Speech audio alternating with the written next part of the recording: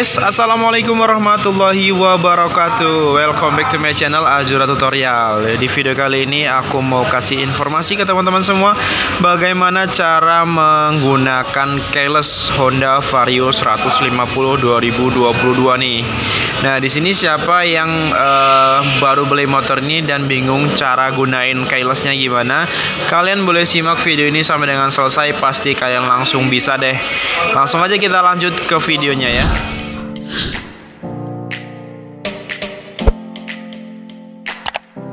kita lanjut ke videonya, untuk teman-teman yang belum subscribe channel ini, silahkan klik dulu tombol subscribe-nya agar teman-teman selalu terupdate video terbaru dari Azura Tutorial. Jadi nggak bakal ketinggalan gitu maksudnya video terbaru dari Azura Tutorial. Nah, perlu teman-teman ketahui juga untuk keyless di motor Honda itu ada di motor apa sih kira-kira gitu ya kan.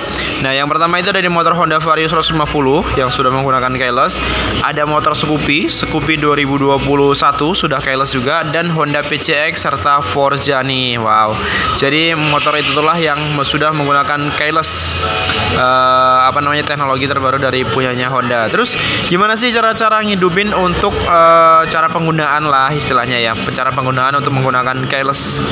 Nah di sini aku pakai contoh punyanya motor Honda Vario ya Honda Vario 150 dan di sini aku sudah pegang remote-nya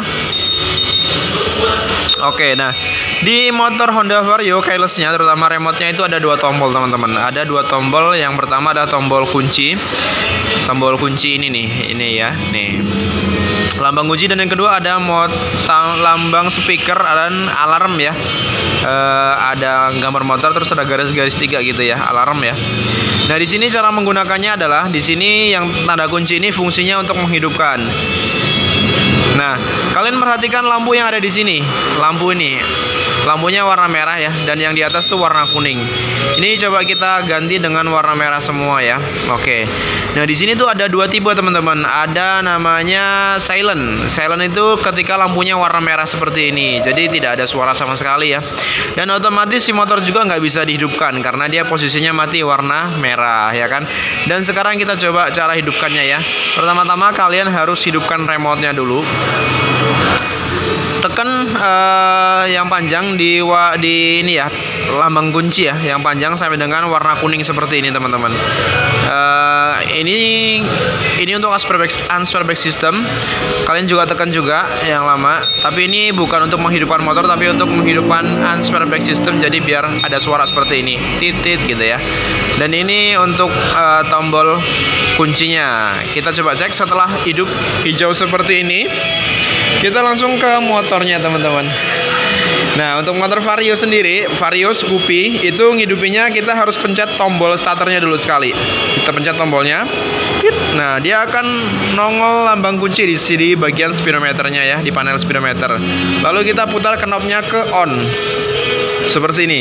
Maka dia bisa hidup. Jadi caranya gampang banget. Kalian tinggal hidupkan ini. On sampai hijau seperti ini. Lalu tekan tombol starter lalu diputar knobnya ke tombol yang I huruf I ya bukan tombol sorry. Dan untuk matikan kalian tinggal arahkan ke O. Oh ini ya Oh ini, ini untuk matikan Dia mati speedometernya. Terus kalau misalkan mau dikunci stang Tinggal tekan Tekan gini Putar ke sebelah kanan. Dia nanti ke bagian gembok ini. Ini kunci stang ya. Tuh kunci stang Nah, jadi seperti ini caranya. Gampang banget bukan? Jadi uh, jangan apa namanya? nggak tahu lagi sekarang kalau udah nonton video ini. Jadi kalian harus tahu cara menggunakan uh, remote motor Honda Vario 150 ataupun punyanya Honda Scoopy ya, guys. Nah, di sini uh, terus answer back system. Nah, seperti ini. Nah, ini fungsinya untuk nyari ketika kita di parkiran. Juga untuk alarm ya tombol yang ini nih tombol yang ini. Coba di standar sampingkan kita. Nah, nanti alarmnya kan tuh alarmnya bunyi dia. Ya kan seperti ini. Kalian tinggal pencet ini aja untuk matiin ya. Nah kalau mau alarmnya nggak aktif ini masih aktif tetap masih aktif walaupun kita sudah pencet ini. Masih aktif nih ada lampunya nyala. Nah cara matinya adalah kita hidupkan motornya. Seperti ini. Hidupkan dia akan mati otomatis dan alarmnya mati juga dia nggak bakal bisa hidup kalau kita pencet lagi dia pasti akan hidup lagi alarmnya ya Nah, setelah kalian selesai menggunakan motor ini, kalian harus matikan remote-nya ini guys. Cara matikannya adalah dipencet tombol yang kunci ini lambung kunci. Dipencet tekan sampai dengan warna merah seperti ini. Oke, ketika sudah warna merah berarti sudah oke. Motor nggak bakal bisa dihidupkan. Saya kasih contoh. Kita pencet tombol ini kan harusnya nyala tadi ya, tombol starternya.